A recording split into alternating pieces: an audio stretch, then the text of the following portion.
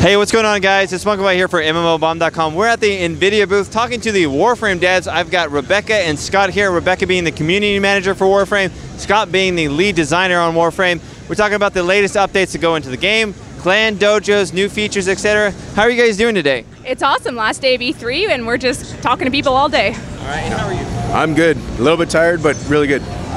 Now, you recently just, I don't know, last week or so, last two weeks, uh, announced uh, the dojo update, all of that, you know, it's your biggest content update yet. And then more recently, you announced that you're going over to the PS4. Can you talk a little bit about the update first, uh, what you're adding into it, and then we'll talk about sort of like the, the PS4 plans? Totally. Um, update 8 was our most ambitious update for sure. We added tons of new content, a lot of which came from his brain, so I'll let him uh, talk about his, his baby, his update 8. Yeah, uh, so update 8, we added uh, clan dojos, which is basically the your clan can get together and build their own clubhouse. Um, there's 1v1 sparring in the uh, dojo. There is uh, weapon research. You know, some of the best weapons in the game are only available in the clan uh, dojo now. Uh, we added 22 new weapons to the game. We added a new warframe. We added uh, Vauban, uh, which is the warframe. We added um, what else? We had we added two new art sets. We added the uh, Void. the void, the mysterious void, where you can start getting some of the prime gear through the game. Uh, The Grineer, the Grineer Galleon set. Yeah, sorry, my brain's not working. Uh, yeah, so Yeah. We added a ton. It's yeah, just. so much stuff we Yeah. You know, we're adding stuff every week, right? Like uh, we do our hot fixes usually Friday with our uh, Tenno Yeah, we reinforcements. actually did one just today. We came into E3 this morning and I got a message from our lead programmer and he was like, hey, we hotfixed, so the public build is running here. Update 8's just getting 8.1.2 today, I think we did, which is a lot more fixes, more, you know, little tweaks to all the stuff we're getting feedback on because our community just each every day it's like here's what uh, here's what we think, here's what needs to change and we'll try and reflect those as quickly as we can with our game. Yep.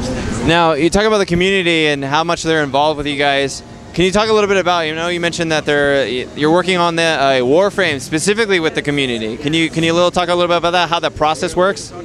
We'll do what we've talked about in our live streams and stuff. I think um, basically, like, guys, we're going to introduce a new Warframe. Let's let the design council, who are our biggest supporters in the game, really, let's let them choose it. So we gathered all their themes from them. So tell us what you want to see. We chose our five, and then we put it in a poll, and they voted, and uh, the antimatter frame won. So we have some art coming to show the design council soon about what our lead character artist is going thinks it should look like. And currently, they're doing powers. So what are the four key powers of this frame going to be? And we'll do another poll, and it's basically all going to be decided by our players, which is Awesome.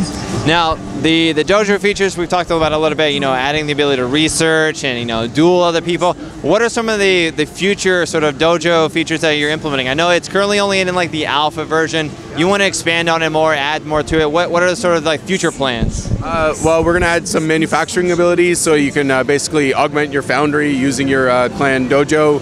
Uh, we're going to be adding uh, more competitive rooms. Uh, the parkour room that has been requested many times.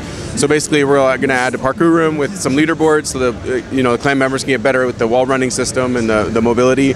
Uh, yeah, basically whatever we can think up, we're going to be adding. So you know, the uh, 1v1 dueling is the first uh, dip into the water for PvP. We're probably going to expand that and allow that to be like 4v4, like the game is set up for. So we'll be adding bigger sparring rooms. So yeah, we have we have we have some plans, but we're basically going to wait and see what the community says and what they were looking for, and start adding that stuff. Okay. And uh, finally, we're going to talk a little bit about the, the recent update that Warframe is, of course, headed to the PlayStation 4. It's being ported over, going to be free to play. Uh, and it was just actually just recently announced that uh, free to play games on the PlayStation 4 do not require a PlayStation Plus account. I'm reading your article last night on my Twitter feed. It was like MMO Bomb reveals that uh, PS4 PlayStation Plus is not required for free-to-play games, which was thanks for sharing because everyone we didn't even know that. we didn't know. So there, there we go. And now everybody knows that Warframe, of course, is going to be completely free on the PlayStation 4. Uh, can you talk a little bit about like uh, how it's going to change for the PlayStation 4, like uh, functionality, UI, same players? Uh, honestly, uh, well, the UI will have to be updated to work with the controller. Uh, currently, you know, the, the controller doesn't support, or the UI doesn't support a controller very well. We're updating that as we go. That's something we want to do for the PC version, anyways, because we find our players are actually using the controller more and more, even on a PC, which is is great that the game works that way. So the PS4 and the PC will benefit from these changes. Um, what else are we doing? Um, in terms of, sorry, now I'm trying to think of what else we're doing for the PlayStation 4.